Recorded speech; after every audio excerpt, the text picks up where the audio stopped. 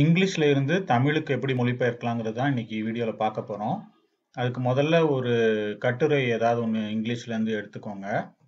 இன்னைக்கு வந்து நம்ம ஒரு உதாரணத்துக்கு பார்க்குறதுக்காக ஒரு சின்ன பகுதியை மட்டும் நீங்கள் வந்து எடுத்து இன்னைக்கு வந்து முயற்சி பண்ணுங்க. நான் அதுக்காக ஒரு சின்ன பகுதி உங்களுக்கு நான் வந்து மொழிபெயர் மொழிபெயர்த்து காட்டுறேன். இதுக்காக என்எம்ஹெச் ரைட்டரை வந்து நீங்கள் முதல்ல ஆன் பண்ணி வச்சுக்கோங்க. அது எப்படி இன்ஸ்டால் பண்ணணும் அப்படிங்கிறதெல்லாம் வேற ஒரு வீடியோவில் இருக்குது அந்த வீடியோட லிங்க் இதில் நான் கொடுக்குறேன் இதில் போய் நீங்கள் பாருங்கள் அப்புறம் ஒரு வேர்ட் பேட் இந்த மாதிரி ஏதாவது ஒரு வேர்ட் ப்ராசஸிங் டூல் எடுத்துக்கோங்க. அதில் நமக்கு எந்த இது தேவையோ அதை வந்து காப்பி பண்ணி வச்சுக்கோங்க. இப்போ இதை வந்து நம்ம எப்படி மொழிபெயர்க்க ஆரம்பிக்கணும்னா, முதல்ல வந்து இந்த என்ஹெச்எம் என்ஹெச்எம் ரைட்டரை வந்து ஆன் பண்ணி வச்சுக்கணும். ஆன் பண்ணுறதுக்காக போய் அந்த இதில் பார்த்தீங்கன்னா, ஆல்ட் 2னா ஃபோனடிக்ல டைப் பண்ணலாம். அதாவது உங்களுக்கு வந்து தமிழ் டைப்பிங் தெரியல அப்படின்னாலும், இந்த ஆல்ட் டூ டைப் பண்ணிங்கன்னா நீங்கள் சாதாரணமாக மெசேஜுக்கு டைப் பண்ணுற மாதிரியே பண்ணிங்கன்னா தமிழுக்கு வந்து மாறிக்கும். அது வந்து யூனிகோடில் வந்து அது டைப் ஆகும். இப்போ வந்து இந்த கட்டுரையை வந்து நீங்கள் முதல்ல வந்து புரிஞ்சுக்கணும். இதை எதை பற்றினது அப்படின்ட்டு. அதை வந்து முதல்ல உங்களுக்கு எப்படி புரியுதோ அந்த மாதிரி வந்து மொழிபெயர்க்க ஆரம்பிங்க. ஸோ, இப்போ நான் இந்த மாதிரி மொழிபெயர்க்கிறேன். யூஎஃப்ஓ அறிக்கை என்பது என்ன? அப்படின்ட்டு இப்போ டைப் பண்ணிட்டேன். இப்போ சில வார்த்தைகள்லாம் என்னென்ன மாதிரி வார்த்தைகள் இருக்குது அப்படின்னு பார்க்கணும். இப்போ நம்பர் ஒன் திங் அப்படின்லாம் போட்டிருக்காங்க. ஹை குவாலிட்டி இது மாதிரிலாம் இருக்கு. அதில் ஏதாவது புரியாத வார்த்தை இருக்கான்னு பார்த்துக்கிறேன். ஸோ, இப்போ சாதாரணமாக முதல்ல வந்து நம்ம மொழிபெயர்க்கிறோம். நமக்கு வந்து இந்த தோணுற மாதிரி மொழிபெயர்க்கலாம் முதல்ல.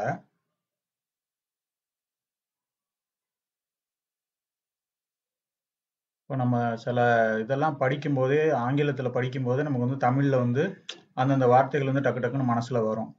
இப்படி மனசில் வர்ற மாதிரி நீங்கள் வந்து முதல்ல மொழிபெயர்த்துக்கோங்க இதில் நிறைய விதிகள் இருக்குது இன்றைக்கி வந்து ஒரு சில விதிகள் மட்டும் பார்ப்போம் மொழிபெயர்க்கிறதுக்கு. அதுக்கப்புறம் படிப்படியாக நம்ம அடுத்தடுத்த படிகளுக்கு போகும்போது நம்ம வந்து வேறு நிறைய விஷயங்கள் வந்து நம்ம வந்து பார்க்கலாம். இப்போ எப்படி மொழிபெயர்த்திருக்கோம்னா, உயர்தரமான தரவுகள் இல்லை என்பதுவே இந்த அறிக்கையின் முதலாவது கவனமாக இருக்கிறது. அப்படின்னு சொல்லிட்டு நம்ம டைப் பண்ணியிருக்கோம். ஸோ, இப்போ நீங்கள் நான் வந்து சொல்ற அந்த மு சில விஷயங்களை வந்து நீங்கள் மனசுல வச்சுருங்க. இந்த நோ நோட் பேட்லயும் நான் வந்து உங்களுக்கு நான் டைப் பண்ணி காட்டுறேன். அதாவது முதல்ல வந்து நீங்கள் அர்த்தம் மாறாமல் பார்த்துக்கணும். ஒரு ஆங்கில கட்டுரையிலேருந்து தமிழுக்கு மாத்துறீங்க அப்படின்னு சொன்னால் அது அர்த்தம் மாறாமல் நீங்கள் வந்து பார்த்துக்கணும். அது வந்து இலக்கணம்லாம் இப்போ வந்து உங்களுக்கு வந்து தெரிகிறதுக்கு வந்து வாய்ப்புகள் குறைவு. முடிஞ்ச அளவுக்கு அது படிக்கும்போது இயற்கையாக இருக்கிற மாதிரி பார்த்துக்கோங்க. படிக்கிறதுக்கே கஷ்டமாக அது வேற ஏதோ ஒரு மொழியிலேருந்து மொழிபெயர்த்தோம் அப்படிங்கிற ஒரு உணர்வு இல்லாத மாதிரி பார்த்துக்கோங்க. 3வதா நீங்க வந்து எழுத்து பிழைகள் எதுவுமே இல்லாத மாதிரி முடிஞ்ச அளவுக்கு பார்த்துக்கோங்க. இதான் வந்து இப்போதைக்கு நீங்க கொஞ்சம் மனசுல வச்சுக்கிறதுக்கான சில குறிப்புகள் நான் வந்து சொல்லியிருக்கிறேன். ஸோ, இப்போ இப்போ இந்த கட்டுரையை நீங்கள் நீங்கள் இப்போ தமிழில் நம்ம டைப் பண்ணியிருக்கிறத பாருங்க. உயர்தரமான தரவுகள் இல்லை என்பதுவே இந்த அறிக்கையின் முதலாவது கவனமாக இருக்கிறது. இதை படிக்கும்போது ஏதோ ஒரு இதுலேருந்து மொழிபெயர்த்துக்கோன்னு வந்து கொஞ்சம் ஓரளவுக்கு சொல்ல முடியும். அதனால கொஞ்சம் வேற மாதிரி மாத்தி பார்ப்போம். உயர்தரமான தரவுகள் இல்லை என்பதில் தான் இந்த அறிக்கை முதலாவதாக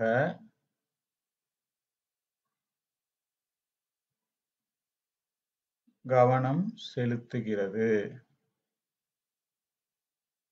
இப்போ ரெண்டாவது சென்டென்ஸ் வந்து ரெண்டாவது வாக்கியத்தை நம்ம வந்து மொழிபெயர்க்கலாம்.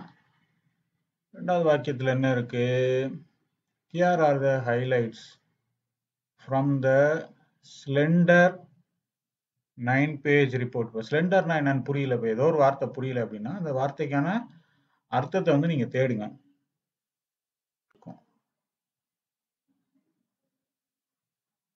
ஸோ, அதுல வந்து நீங்கள் அந்த தமிழ் அர்த்தம் நமக்கு வந்து தேடலில் கிடைக்கிற அதே வார்த்தையை வந்து அப்படியே பயன்படுத்தணும்னு அவசியம் இல்லை அது வந்து நம்ம புரிஞ்சுக்கணும். என்ன அர்த்தங்கிறத புரிஞ்சுக்கிட்டு அந்த சூழ்நிலைக்கு எது வந்து சரியா இருக்குமோ அதை வந்து நம்ம பயன்படுத்தணும். மெல்லியங்கிற வார்த்தை கொடுத்துருக்காங்க இப்போ அந்த மெல்லியங்கிற வார்த்தை அப்படியே நம்ம பயன்படுத்தணும் அவசியம் இல்லை அதாவது ஏதோ ஒரு சின்னதா ஏதோ ஒரு விஷயம்.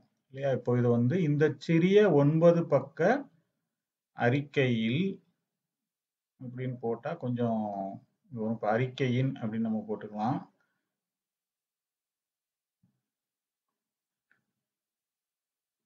அறிக்கையின் முக்கிய அம்சங்களாக அம்சங்கள் இங்கே கொடுக்கப்பட்டுள்ளன அப்படின்னு சொல்லிட்டு நம்ம போட்டுக்கணும் இந்த சென்டென்ஸை வந்து ரெண்டா அவங்க போட்டிருக்காங்க. இவை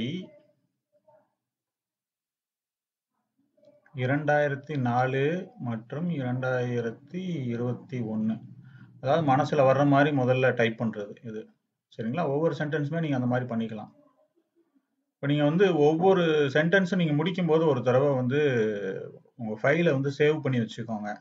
சில நேரம் நீங்கள் முழுசாக முடித்த பிறகு பார்த்தீங்கன்னா சேவ் பண்ணாமல் க்ளோஸ் பண்ணிட்டீங்கன்னா எல்லாமே போயிடும் அதனால் ஒவ்வொரு சென்டென்ஸ் முடியும் போதும் ஒரு தடவை சேவ் பண்ணிக்கோங்க. சேவ் பண்ணிட்டு இந்த மாதிரி டிரான்ஸ்லேட் பண்ணுங்கள் முதல்ல ஒரு தடவை டிரான்ஸ்லேட் பண்ணும்போது நீங்கள் சாதாரணமாக பண்ணுங்கள் அதுக்கப்புறமா அதை படித்து பாருங்கள் படித்தா புரியுதா அப்படின்னு பாருங்கள் அர்த்தம் எதுவும் மாறி இருக்குதான்னு பாருங்கள் அதுக்கப்புறமா நீங்கள் வந்து திரும்பி அதை வந்து சரி பண்ணிக்கலாம். நீங்க ஒரு தடவை வாசி பார்க்கணும் இன்னைக்குமே நேரா மொழிபெயர்த்த உடனே அப்படியே நேரா ஆஹ், பயன்படுத்திடக்கூடாது. அது வந்து சரியா இருக்கான்னு ஒரு தடவை பார்த்துக்கணும். இப்போ பாருங்களேன் இதை. இவை இரண்டாயிரத்தி நாலு மற்றும் இரண்டாயிரத்தி இருபத்தி ஓராம் ஆண்டுகளுக்கு இடையே யுஎஸ் அரசாங்கத்தினால் பார்க்கப்பட்ட நூ- நூத்தி நாற்பத்தி நாலு ஏ பிஓக்களின் மொத்த அப்படின்னு நம்ம டைப் பண்ணோம்னா அது ஏதோ தப்பா இருக்கிற மாதிரி தெரியுது இல்லையா? ஏன்னா நேராக வார்த்தைக்கு வார்த்தை நம்ம வந்து பா- பண்ணியிருக்கோம் இப்போ அதை வேற மாதிரி நம்ம டைப் பண்ணி பார்ப்போம். இப்போ யூஎஸ்ங்கிறத நம்ம அமெரிக்கான்னு போட்டுக்கலாம். ஆனால் நம்ம மக்களுக்கு வந்து அமெரிக்கான்னு சொன்னால் தான் புரியும். சரிங்களா? இப்போ இவை அமெரிக்க அரசாங்கத்தால் இரண்டாயிரத்தி நாலாம் ஆண்டு முதல் இரண்டாயிரத்தி இருபத்தி ஓராம் ஆண்டு வரை பார்க்கப்பட்ட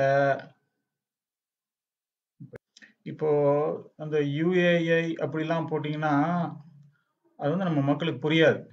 இவை மொத்தமாக அப்படின்னு நம்ம ஸ்டார்ட் பண்ணிக்கலாம். இவை மொத்தமாக அமெரிக்க அரசாங்கத்தால் இருபத் ரெண்டாயிரத்தி நாலாம் ஆண்டு முதல் ரெண்டாயிரத்தி இருபத்தோராம் ஆண்டு வரை பார்க்கப்பட்ட நூத்தி நாற்பத்தி நாலு காட்சிகள். காட்சிகள் காட்சிகளை விவரிக்கின்றன.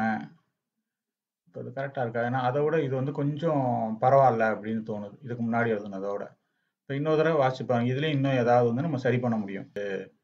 நூற்றி நாற்பத்தி நாலு காட்சிகள் அப்படின்னா என்ன காட்சிகள் அப்படின்னு நமக்கு புரியாது. அப்போ இங்கிலீஷில் படிக்கும்போது சைட்டிங்ஸ் அப்படின்னா புரியுது. தமிழில் வந்து இந்த சைட்டிங்ஸ்னா என்னன்னு புரியுமா? மக்களுக்கு வந்து தெளிவாக புரியுமா அப்படிங்கிறத யோசிக்கணும் நம்ம. யூஎஃப்ஓ மாற்றிடுவோம் யூஎஃப்ஓனா அன்னோன் ஃப்ளையிங் ஆப்ஜெக்ட் அப்படிங்கிறது ஆங்கிலம் தெரிஞ்சவங்களுக்கு தெரியும். அன்னோன்னா அறியப்படாத அறியப்படாத பறக்கும் பொருள் அப்படின்னு சொல்லிட்டு நம்ம போடுவோம். பறக்கும் பொருள் குறித்த அறிக்கை என்பது என்ன? அப்படின்னு போட்டு தெரியாதவங்களுக்கு பிராக்கெட்ல அதை இங்கிலீஷ்லையும் போட்டுக்கலாம். இதான் படிக்கிறவங்களுக்கு ஓகே ஓ இதை தான் அப்படி சொல்றாங்களா? அப்படின்னு கூட தெரிஞ்சுக்கலாம். ஒருவேளை அந்த வார்த்தை ரொம்ப புதுசா இருக்கு அப்படின்னா. இப்போ இங்க கடைசியா